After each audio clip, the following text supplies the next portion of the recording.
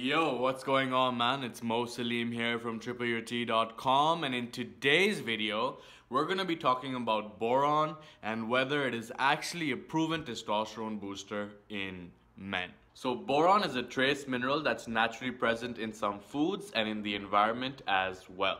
Some foods that are rich in boron include chickpeas, kidney beans, raisins, almonds, and avocados.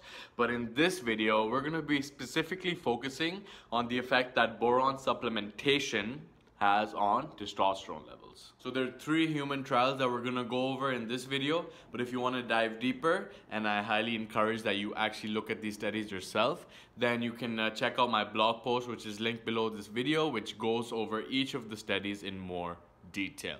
Alright, so in this first study, 8 healthy male volunteers were brought into a lab and assigned to ingest 10 milligrams of daily boron supplementation for 7 days. After this time period, their total testosterone levels remained unchanged. That being said, their free testosterone levels actually elevated by 28%. And just a quick note on the difference between total testosterone and free testosterone. So about 98% uh, of the testosterone that your body produces gets bound to SHBG, which is sex hormone binding globulin. So SHBG actually leaves testosterone inert and unable to exert an influence.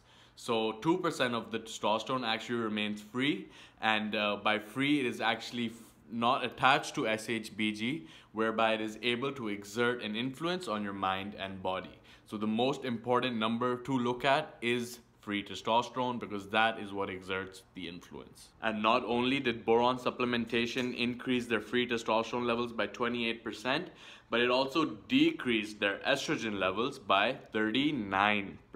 So yeah, according to this first study, boron supplementation does seem to have a significant positive impact on testosterone. That being said, keep in mind that it was only performed over seven days, so we can't be sure whether this effect carries over in the long term as well. And that brings us to the second study in which 19 resistance trained male athletes were brought in and randomly assigned to ingest 2.5 milligrams of boron for seven weeks. And after these seven weeks, their total testosterone levels elevated by an average of 33% and their free testosterone levels elevated by an average of 15%. Now, this is a much longer study over seven weeks, and that means that the results are definitely more robust as well. But keep in mind that it was only a 2.5 milligram dose, and in the first study, it was a 10 milligram dose. So, so far, the evidence seems pretty strong. But this third study is where things get a bit iffy. So 18 healthy male volunteers were brought in and assigned to ingest 10 milligrams of daily boron supplementation for four weeks. Each subject served as his own control and after the four week period, their total testosterone levels elevated by about 11%. But another interesting finding about this study, which actually goes against what we've been talking about, is that the subject's estrogen levels actually elevated by 42%. So yeah, that's a pretty drastic increase, which uh, brings us to the conclusion that based on the current scientific research, the evidence regarding boron's effectiveness at increasing testosterone is not exactly conclusive, all right? So we definitely need more research to confirm the effect. And uh, so far, two out of the three studies show that it has a significant positive impact, while one out of the three studies show that it increases total testosterone while having a drastic increase of estrogen levels. So yeah, man, at this point, that's what the research says uh, regarding boron and its effect on testosterone. So as per boron's mechanism of action on testosterone, I was able to find some research that demonstrates how uh, boron supplementation actually increases your body's absorption rate of uh, vitamin D and magnesium. And both of these are minerals that are very important for testosterone production.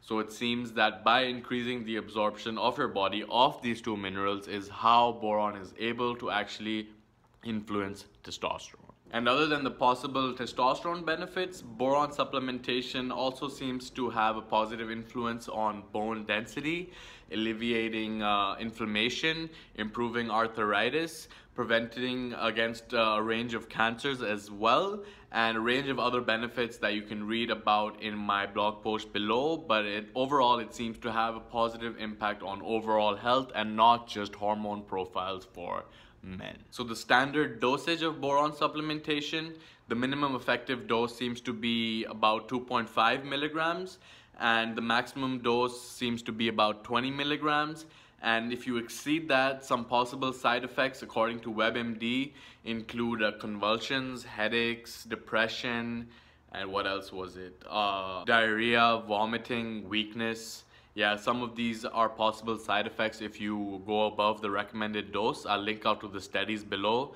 But uh, yeah those seem to be the possible side effects. But yeah in conclusion more evidence than not supports the fact that boron has a positive influence not only on testosterone but on a range of other health benefits as well. All right? With that being said if testosterone optimization is a priority for you always focus on diet and lifestyle changes before you focus on supplementation all right now boron can definitely help so can supplementing with magnesium vitamin d and all these other critical micronutrients that help with overall health and your testosterone but always combine them with diet and lifestyle changes first all right? If you don't make those changes then supplements will not really help to the extent that you will actually begin to experience the benefits of higher testosterone levels all right? With all that being said this has been Mo Saleem from tripleyourt.com and I'll see you soon